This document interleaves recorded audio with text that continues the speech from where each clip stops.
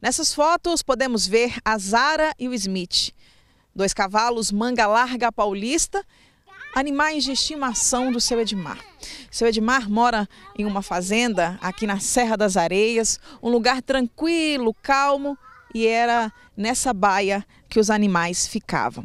Aqui dentro nós podemos ver os coxos vazios, não tem água, não tem comida, porque há quase uma semana esses cavalos desapareceram. O que ficou por aqui foi o desespero de um homem que já andou por toda a serra atrás dos bichos, mas até agora nada. A suspeita é o quê? Que eles tenham ido embora ou que alguém tenha furtado eles na madrugada? Com certeza furtaram eles, né? Porque eles conhecem o lugar de comida, de bebida. Com certeza roubaram eles. Furtaram eles com certeza.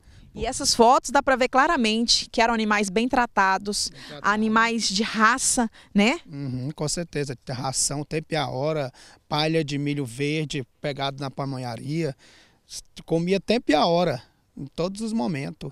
É, e aqui assim é uma serra, né, com muita mata.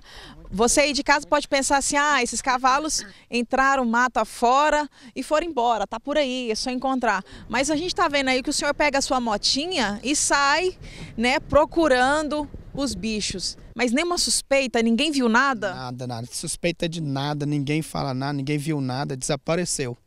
Uma semana.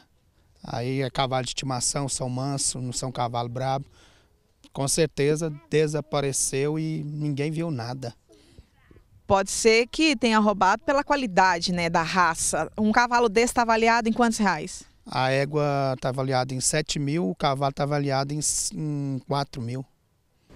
E aqui quase não tem vizinho, é tudo muito afastado. É, alguém não viu alguém pegando? Ninguém viu nada. Ninguém viu nada, ninguém fala nada, ninguém viu nada. Desapareceu. É, aqui é um local muito calmo. Os netos do seu Edmar ficam brincando por aqui, aproveita que não tem aula hoje e vem para e vem para cá para ficar aqui com o senhor. Então assim, aqui o senhor nunca imaginou que poderia acontecer isso? Nunca imaginei. Aqui é seguro, nunca aconteceu roubo aqui, nada, nada, nada, nada. Nunca, nunca imaginaria que que sumir esses animais. Tanto é que eles ficavam soltos aqui normal, vinha aqui, comia, saía de novo, ia no corga ali beber água. Pois é, aqui assim, nessa baia aqui é um local grande, né?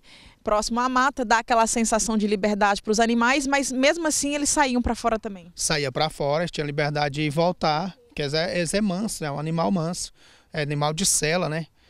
Vamos mandar aí para ver se a gente acha eles? Não acha não. Acha não? Pois é.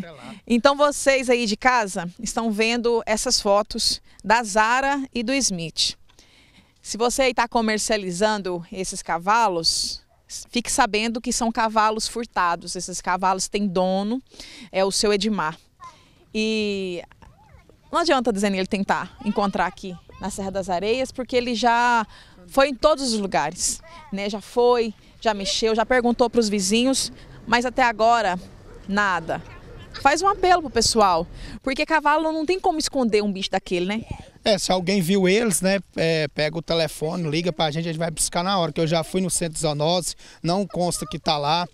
É, se alguém viu eles em algum lugar, talvez está solto aí, alguém, às vezes ninguém roubou eles, tá solto, alguém pode ligar que eu vou na hora buscar. E ainda tem uma recompensa ainda, né, para as pessoas que achar.